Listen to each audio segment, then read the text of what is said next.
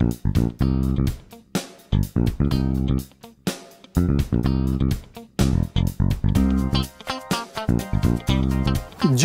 répandu sur nous avec abondance euh, euh, la richesse de sa grâce et aussi par toute espèce de sagesse et d'intelligence. Et Paul confirme que lui-même a reçu cette sagesse et cette intelligence puisqu'il dit il nous a fait connaître le mystère de sa volonté.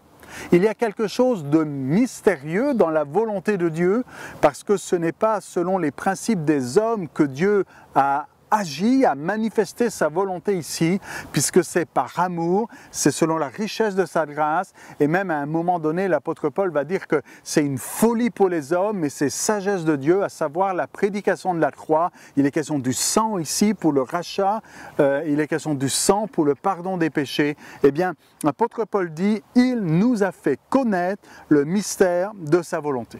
L'apôtre Paul écrivant aux Éphésiens dit pas simplement je connais le mystère mystère de sa volonté, mais il dit il nous a fait. Ce qui sous-entend que les lecteurs, que les Éphésiens euh, comprennent aussi le mystère de sa volonté. Et nous encore, en tant que lecteurs modernes de l'épître aux Éphésiens, nous devrions faire partie du nous et pouvoir dire avec l'apôtre Paul, oui, il nous a fait connaître.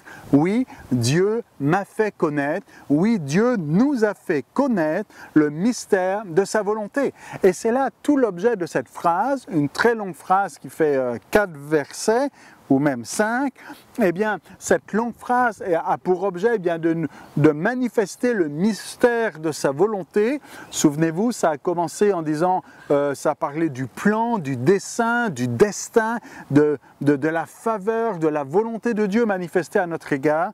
Eh bien, le mystère de sa volonté, Dieu nous le fait connaître. Il l'a répandu sur nous, eh bien, selon la richesse de sa grâce, toute espèce de sagesse et d'intelligence afin que nous comprenions, afin que nous sachions, afin que nous connaissions le mystère de sa volonté.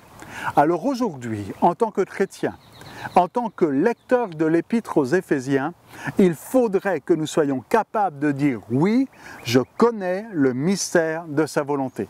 Oui, je sais. Et ce n'est pas quelque chose que l'on comprend par nous-mêmes. L'apôtre Paul ne dit pas j'ai étudié, j'ai calculé, j'ai réfléchi et j'ai trouvé. Non, il dit c'est Dieu qui m'a fait connaître. C'est donc par révélation. Et c'est en parlant avec Dieu, c'est en connaissant Dieu, c'est en étant en contact avec Dieu, avec sa parole, eh bien qu'il veut nous faire connaître le mystère de sa volonté. Et c'est quelque chose de très important par rapport à l'épître aux Éphésiens.